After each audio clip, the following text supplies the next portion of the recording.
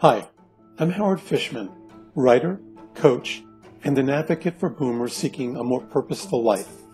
I was really pleased to be asked by the Love Yourself Project to talk about the construct of retirement because I believe, other than the financial aspects, we don't spend much time planning our retirement in a way that reflects our authentic selves.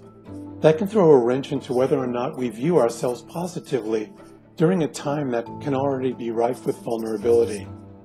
The most important thing I can do for you, therefore, is to help you consider a well-balanced retirement, whether you're in a traditional golf course retirement or a hybrid retirement where you're still engaged in business endeavors.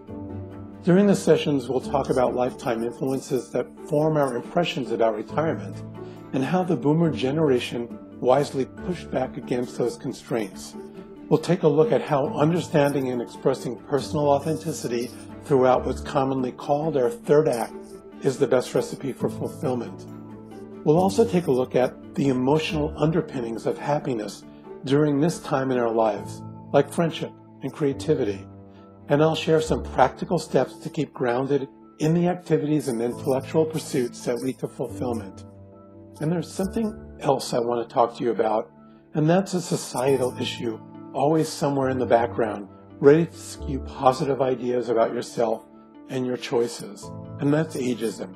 Ageism is other people's ridiculous generalizations about how people our age should behave and be treated.